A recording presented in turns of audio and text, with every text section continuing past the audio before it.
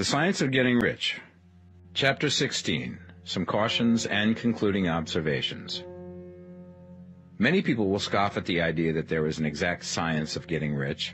Holding the impression that the supply of wealth is limited, they will insist that social and governmental institutions must be changed before even any considerable number of people can acquire a competence. But this is not true. It is true that existing governments keep the masses in poverty, but this is because the masses do not think and act in the certain way.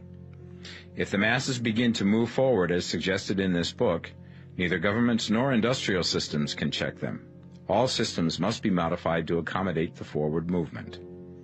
If the people have the advancing mind, have the faith that they can become rich, and move forward with the fixed purpose to become rich, nothing can possibly keep them in poverty. Individuals may enter upon the certain way at any time and under any government and may make themselves rich. And when any considerable number of individuals do so under any government, they will cause the system to be so modified as to open the way for others.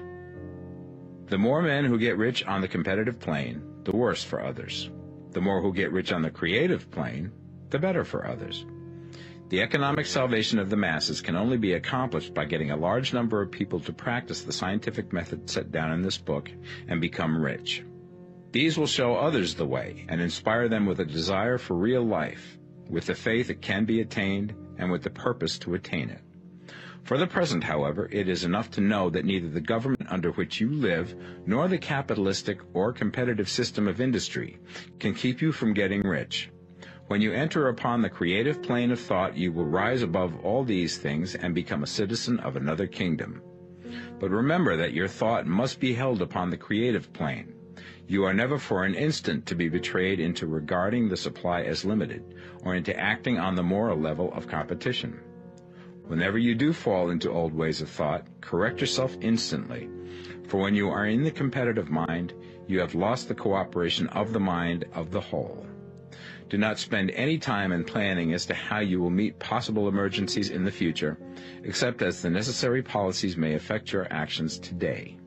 You are concerned with doing today's work in a perfectly successful manner, and not with emergencies which may arise tomorrow. You can attend to them as they come.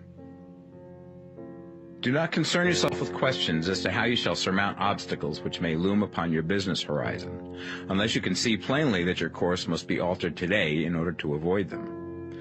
No matter how tremendous an obstruction may appear at a distance, you will find that if you go on in the certain way, it will disappear as you approach it, or that a way over, through, or around it will appear. No possible combination of circumstances can defeat a man or woman who is proceeding to get rich along strictly scientific lines.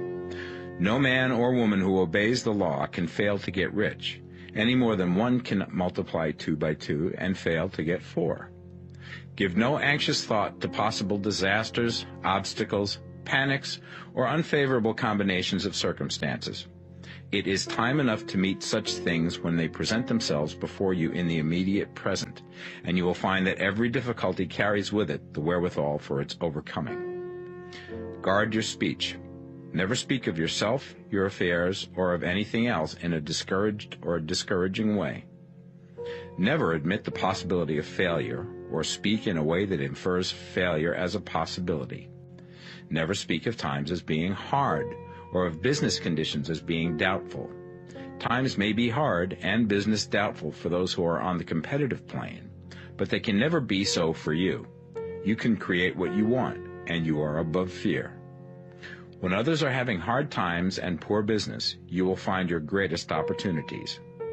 Train yourself to think of and to look upon the world as a something which is becoming, which is growing and to regard seeming evil as being only that which is undeveloped. Always speak in terms of advancement. To do otherwise is to deny your faith, and to deny your faith is to lose it.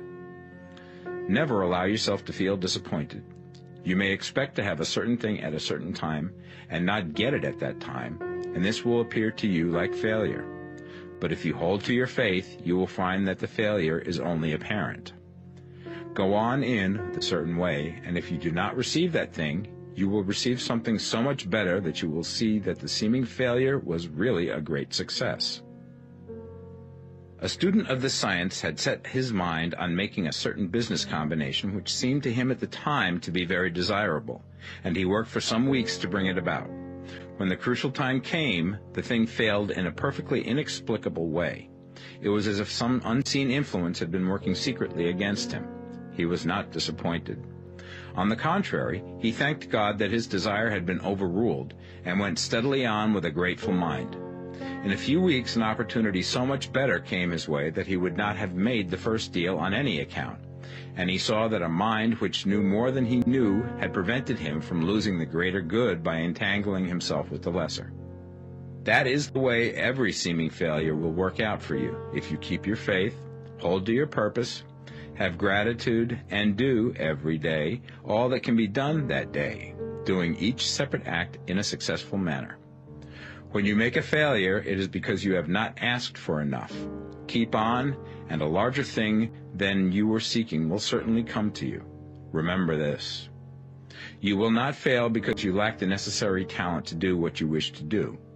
If you go on as I have directed, you will develop all the talent that is necessary to the doing of your work. It is not within the scope of this book to deal with the science of cultivating talent but it is as certain and simple as the process of getting rich. However, do not hesitate or waver for fear that when you come to any certain place, you will fail for lack of ability. Keep right on, and when you come to that place, the ability will be furnished to you.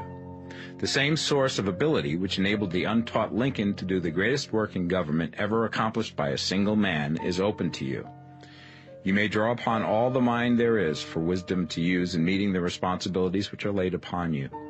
Go on in full faith. Study this book. Make it your constant companion until you have mastered all the ideas contained in it. While you are getting firmly established in this faith, you will do well to give up most recreations and pleasure, and to stay away from places where ideas conflicting with these are advanced in lectures or sermons. Do not read pessimistic or conflicting literature or get into arguments upon the matter. Do very little reading, outside of the writers mentioned in the preface. Spend most of your leisure time in contemplating your vision and in cultivating gratitude and in reading this book. It contains all you need to know of the science of getting rich, and you will find all the essentials summed up in the following chapter.